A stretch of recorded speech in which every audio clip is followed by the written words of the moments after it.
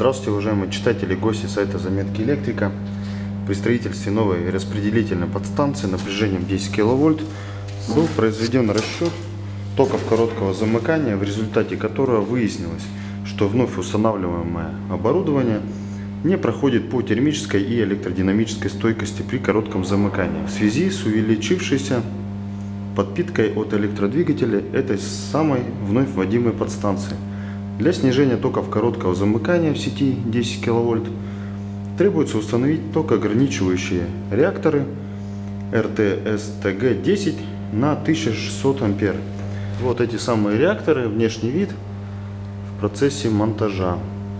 Это фаза А, видно вот по цветовой маркировке выводов. Фаза Б и фаза С. Вот реактор сухой, ток ограничивающий. Сразу расшифруем его обозначение. R – реактор, Т – трехфазный, С, э, вернее S – естественное охлаждение, Т – ток ограничивающий, Г – горизонтальное расположение. Ну, вы видите, что они все расположены горизонтально.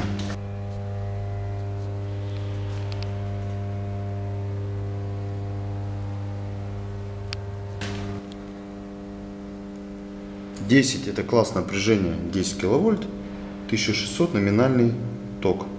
0,18 это номинальное индуктивное сопротивление в омах.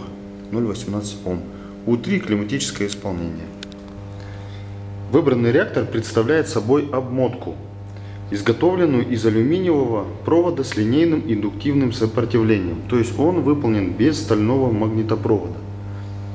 Прессующая конструкция представляет собой систему изоляционных планок, стянутых вертикальными шпильками. Целые ряды.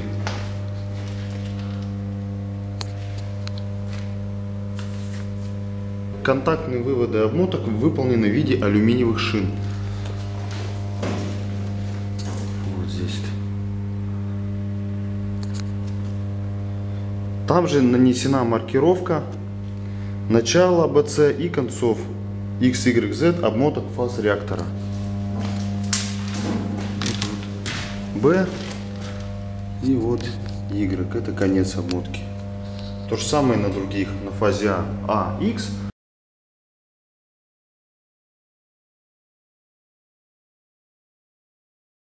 На фазе Б, Б, Y и на фазе С, CZ. Места заземления реакторов маркируются соответствующим знаком заземления. То есть на каждом опорном изоляторе.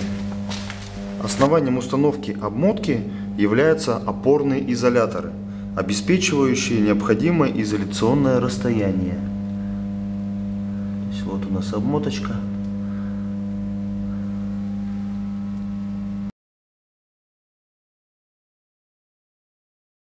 Испытание сухих токоограничивающих реакторов РТС-ТГ-10 будем выполнять согласно ПОЭ, глава 1, согласно РД 3445 51 300. Это объемы и нормы испытаний, пункт 18, а также по указаниям завода-изготовителя.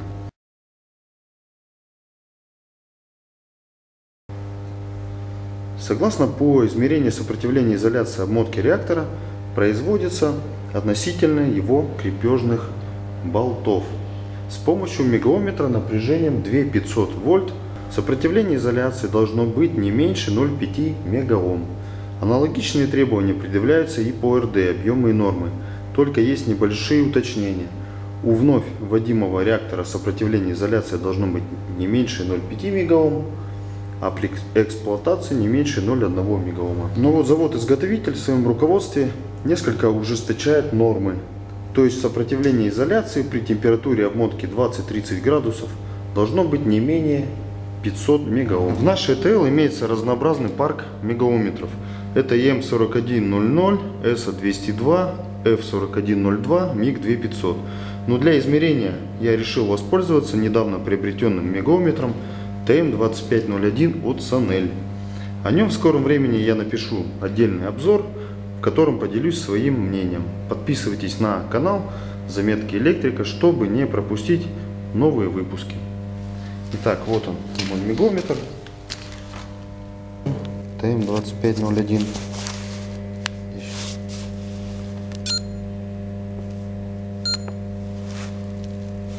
Так, включаем режим на замер сопротивления изоляции. Один вывод подключаем на обмотку. А второй на заземляющий вывод.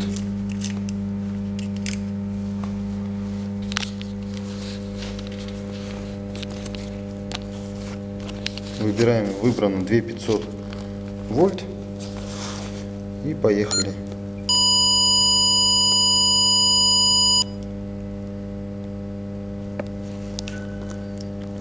Четыреста семьдесят гигаом. Так, шестьсот семьдесят восемь, семьсот гигаом.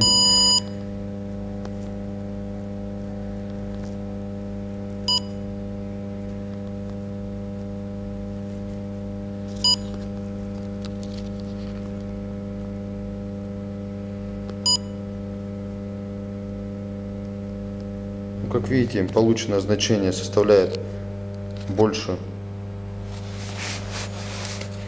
1000 гигаом.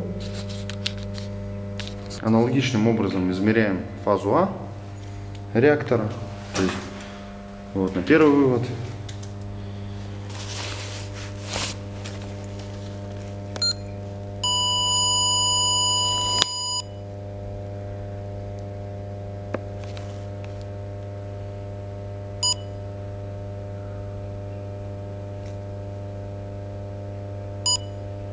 Ну, то есть видно, при 15 секундах уже больше 1000 гигаом. Проверим сопротивление изоляции по отношению к стяжным шпилькам.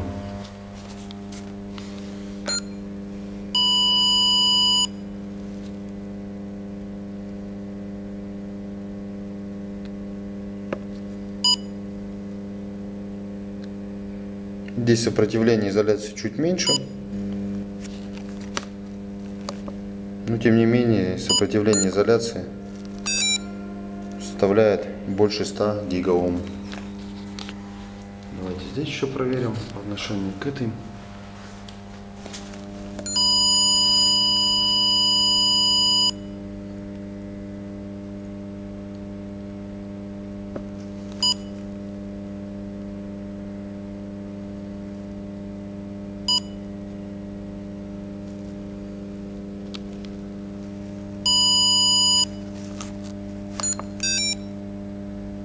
Семьдесят пять гигаом.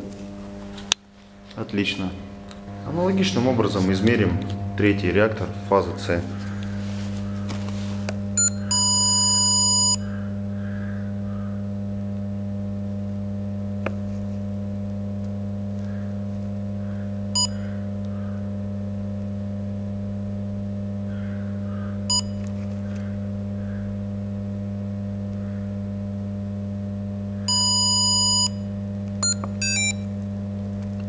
Сопротивление изоляции 50, а, 531 гигаом.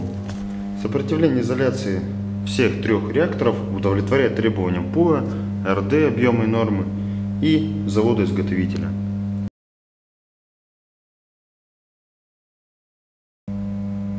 Вторым испытанием сухих реакторов является испытание опорной изоляции повышенным напряжением 37,8 киловольт, 37,8 киловольт промышленной частоты в течение одной минуты. Э, данное значение 37,8 относится э, к опорной изоляции не фарфоровой. Испытания можно проводить совместно с изоляторами и ошиновкой. Вот ошиновка у меня здесь уже на данном реакторе подключена. Изоляторы вот имеются. Аналогичные требования по испытанию повышенным напряжением предъявляются и в РД объемы и нормы. А вот завод-изготовитель данный вид испытания вовсе оставил без внимания. Странно, но мы в любом случае провели испытание обмотки реакторов повышенным напряжением с помощью нашего легендарного АИ-70. И изоляции реакторов, всех трех реакторов успешно выдержала.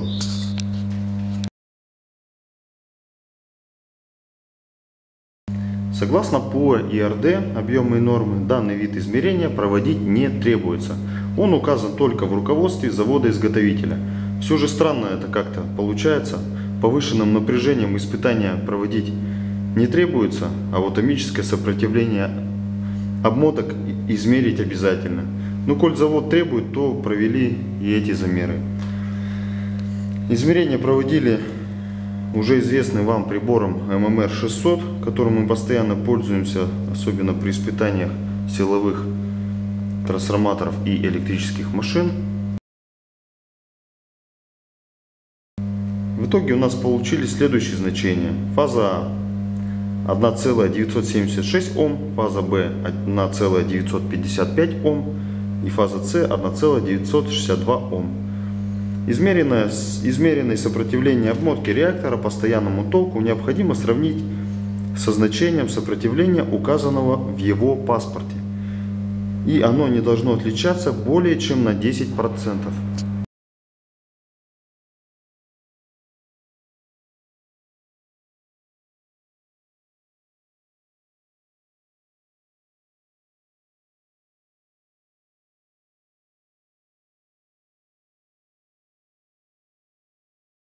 Полученные значения сопротивления обмоток каждой фазы реактора, реакторов мы сравнивали между собой и приняли то, что они не должны отличаться между собой более чем на 2%. В общем, аналогично, как у силовых трансформаторов. В нашем примере расхождение по показаниям получилось около 1,06%, что вполне удовлетворяет требованиям.